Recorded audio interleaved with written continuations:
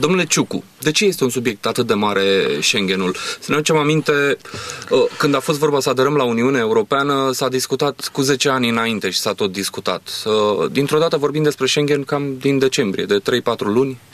Din, aș întrevede aici două motive. Prima este pentru că autoritățile române l-au făcut un subiect mare, în special președintele declarându-l prioritate zero. Inițial credeau că este un obiectiv doar de bifat, ușor de atins, în care poți să ai câștiguri politice majore și declarând o prioritate zero pe toate canalele, dând aceste direcțiuni aparatul executiv, atunci ea a devenit prioritate zero și am făcut un mare subiect din ea. Al doilea motiv este că nouă românilor ne place să ne vânăm propriile eșecuri și sunt spectaculoase, deși implicațiile neintrării acum imediat în spațiul Schengen nu sunt uh, fantastice, fabuloase sau uh, nu sunt majore pentru România. S-ar spune că ar fi mai degrabă vorba despre implicații de imagine. Un... De imagine, de credibilitate și psihologice. Uh, ar mai fi încă, ar fi un nou termen sau uh, ratat de România după de, ne-am obișnuit să fim uh, de multe ori, din păcate, la, în de clasamentelor și ar fi încă un astfel de prilej. Implicații psihologice de genul că încă nu suntem cetățeni europeni cu drepturi de pline, drepturi de liber, liberă circulație. Putem circula liber în Europa, dar mai trebuie să pierdem timpul prin vămi. Așa să fie, Robert Schwartz, se strică imaginea României, cum se vede de la bun? Nu cred că imaginea României a fost mai bună sau mai proastă uh, decât ar fi acum. Uh, și nu cred că subiectul Schengen uh, contribuie foarte tare la imaginea reală a României. După părerea mea, subiectul Schengen este supralicitat, nu numai în România, ci și în Franța și în Germania, dar totodată e interesant de observat că această chestiune a prilejuit această mobilizare fără precedent uh, în România, atât o mobilizare a administrației cât și a presei și uh, de fapt cred că asistăm aici la o greșeală în interiorul uh, Uniunii Europene. E o greșeală de construcție, cred, a Uniunii Europene. Înaintea aderării unei țări, Bruxelles are o foarte mare influență asupra acestei țări în general asupra statelor candidate.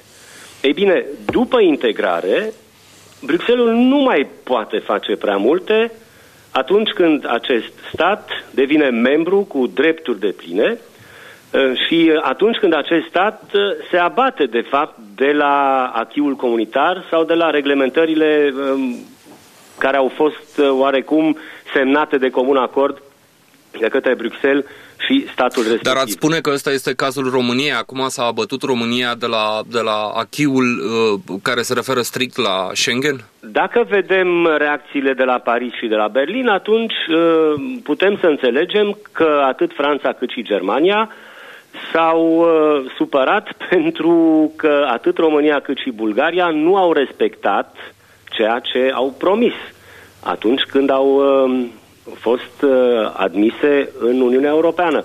Cu alte cuvinte, acest mecanism de monitorizare care a fost introdus în cazul României și Bulgariei um, n-a prea adus rezultatele scontate. Mă refer aici la reforma în justiție, mă refer la lupta anticorupție, mă refer la criminalitatea organizată, uh, subiecte care de fapt se discută de ani de zile, dar uh, unde nu s-a prea făcut prea mult. Ciprian Ciucu, sunteți autorul unui uh, raport uh, care a monitorizat progresele autorităților române legat strict de problema Schengen. Sunt, sunt aceste subiecte enunțate de Robert Schwarz mai devreme, criminalitate, lupta împotriva corupției, sunt aceste subiecte relevante în contextul Schengen? Uh, aici aș face o precizare, uh, sunt de acord cu comentariile uh, dumnealui, mai puțin aș lega totuși criminalitatea organizată de România. Este nu, am legat-o de Bulgaria. Al Bulgariei. Uh, trebuie să înțelegem că acordul așa cum a plecat el, printr-o scrisoare de asociere, Declaration of Readiness, suntem gata să începem demersul, completarea unei chestiuni de autoevaluare al capacității noastre.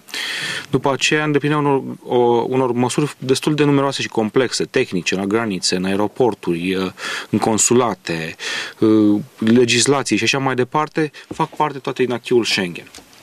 Noi aceste lucruri le-am făcut. Uh, și atunci, ceea ce apare în plus sunt uh, subiecte care nu au fost discutate niciodată, în afară de momentul aderării la UE, dar nu au fost niciodată de, uh, discutate ca parte a chiului pe care noi trebuie să îndeplinim pentru a intra în Schengen. Ni se aduc, de aceea și președintele vorbește despre discriminare, că nu există precedent până acum ca pe parcursul jocului, în timp ce echipa joacă, să apară noi reguli și noi cerințe uh, pentru a câștiga un meci. Este exact ca la fotbal. Scopul este să dai goluri uh, și atunci ți se spune să dai uh, un gol ca să câștigi meciul. Și acum ți se spune de fapt nu, ca să câștigi meciul ai nevoie să dai încă două goluri sau încă trei goluri.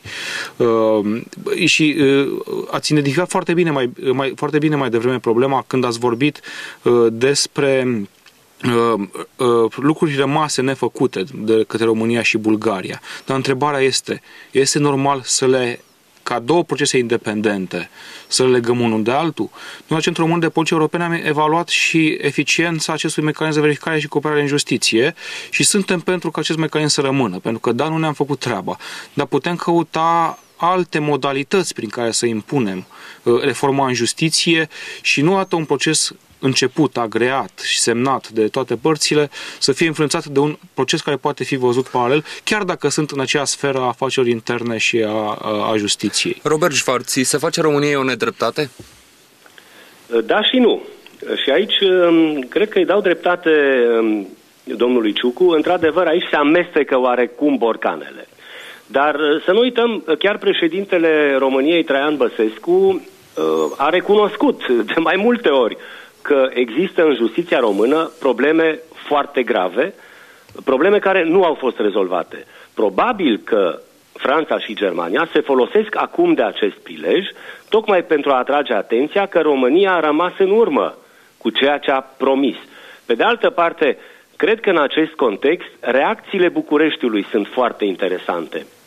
Ne aducem aminte? Acolo vreau să ajung, domnule Șvarț, și să vă întreb dacă nu cumva acea jumătate de amenințare retrasă până la urmă privind blocarea aderării Croației sau blocarea ratificării unui, unui tratat european, dacă genul ăsta de lucruri au, au efecte, venind dinspre București, o țară aflată totuși, trebuie să o recunoaștem, într-o poziție slabă în, în tot aparatul european. Da, au avut un efect, cred, și anume în presa occidentală a fost oarecum ironizată poziția României, care s-a arătat atât de revoltată în chestiunea Schengen și care chipurile ar fi putut să pună bețe în roate integrării Croației. E un joc de glezne care face parte din uh, acțiunile diplomatice și politice uh, interstatale. Uh, cred că Băsescu și ministrul de externe Baconski uh, au revenit și, și au revenit destul de repede de la pozițiile atât de tranșante și de critice.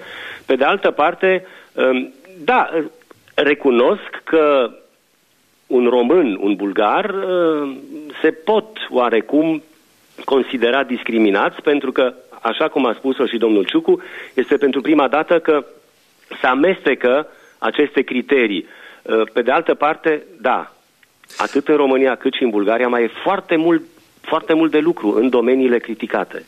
Într-adevăr, dar vorbim de totuși, Ciprian Ciucu, vorbim de două țări diferite. România nu e Bulgaria, Bulgaria nu e România. Fiecare dintre aceste țări are problemele ei specifice. Nu cumva uh, s-ar impune o decuplare a celor două țări în, uh, în diverse procese, cum, cum este acesta cum, uh, privind Schengenul? Am intrat în Uniunea Europeană în logica valurilor, care uh, ne-a fost și nou aplicată și care, într-un fel, uh, ne-a adus în Uniune în, uh, în anul 2007 Uh, ca un fel de continuare, norm, ca un fel de continuare normală a procesului. Deci noi am fost în această logică a valorilor care nu, nu mai este astăzi aplicată nici în uh, Balcanii de Vest și nici în parteneriatul estic. Acum au început țările din ce în ce mai mult să fie tratate individual. La un moment dat, dacă lucrurile nu vor merge bine, într-o parte sau alta, momentan ele nu merg bine în partea bulgară, mai ales la granița terestră cu Ungaria, uh, scuzați-mă, cu Turcia, uh, atunci se poate vorbi de o decuplare. Este o, o decizie pe care decuplare Consiliul... pe care o poate cere România? O, o poate cere România, și, dar trebuie să fie făcută cu acordul Consiliului UE pe Justiție și Afaceri Interne și nu este improbabilă dacă lucrurile nu se vor îndrepta în Bulgaria, pentru că până la urmă... Ați risca un termen când s-ar putea întâmpla așa, așa uh, ceva? Dacă într-un an de zile Bulgaria totuși nu-și, nu-și face treaba un an de zile pe granița cu Turcia, România ar putea să fie, să fie măsură să acest lucru și într-un mod legitim. Se vorbește că n-ar fi înțelept acum pentru un interval scurt de timp pentru că ar trebui să alocăm resurse ca să securizăm granița dintre noi și Bulgaria pe Dunăre, lucru care n-ar fi foarte greu de făcut pentru că este Dunărea, se poate securiza foarte bine cu relocarea de șalupe de patrulă uh, uh, mai mult pe, pe această zonă. Uh, nu, e foarte, nu este o graniță foarte greu de securizat. Iar dacă Bulgaria va continua să nu îndeplinească criteriile, va deveni legitim din partea României să solicite această decuplare. Până atunci, cred că ar trebui să dăm dovadă de înțelegere față de bulgari, pentru că are cine să izorească și are cine să pună presiune față de ei.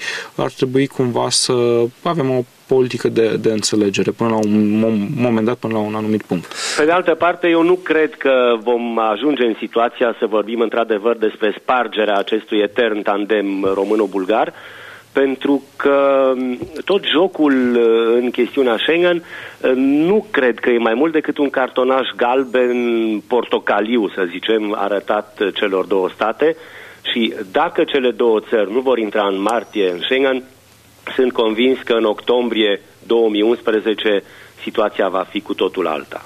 Cum ne apropiem de final, uh, Robert Schwarz, aș mai avea o întrebare. De mai bine de 10 ani la București se vorbește intens decât un parteneriat special cu câte o capitală vestică. Am avut și o axă Londra, Washington, București. Avem uh, parteneriate speciale cu Franța. Uneori se vorbește de, de, de un astfel de parteneriat și cu Germania. Aveți senzația, uitându-vă la, la, la ce se întâmplă în ultima vreme cu România și politica externă, că ne pierdem prietenii din Europa?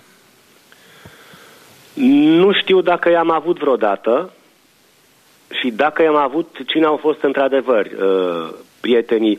Cred că întreaga Uniune Europeană a avut înțelegere atât pentru România cât și Bulgaria în 2007 și înainte de 2007.